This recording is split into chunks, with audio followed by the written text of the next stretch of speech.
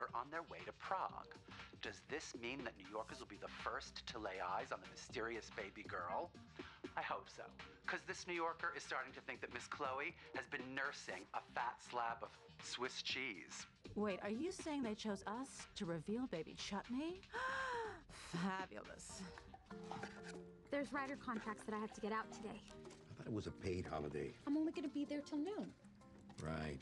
Dad, we've got deadlines, and Daniel's been distracted. If I wait till Monday to finish the paperwork, it'll be too late.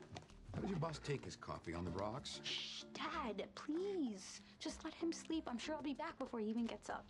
Oh, but if I'm not, just, you know, offer him breakfast. Be nice. Oh, and whatever you do, don't talk about last night. Don't even mention her name. He's in really bad shape. Who is this woman anyway? What? You don't recognize me? I remember Ragisha before she shaved. You know, I kind of miss the good old days when you snuck out in the middle of the night. Oh, but then we would have missed this. What do you think, Betty? Can you put me on the cover of your magazine? Well, I don't really have much say about what goes on the cover. Sorry. Goodbye. Bye. You, uh, staying for breakfast? Yeah, sure. Smells great. You're a guest in this house.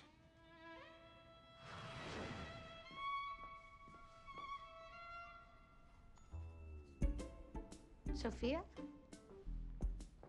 Hola, Betty. What's wrong? Oh, nothing. I just didn't expect to see anybody here today. Oh, when you're launching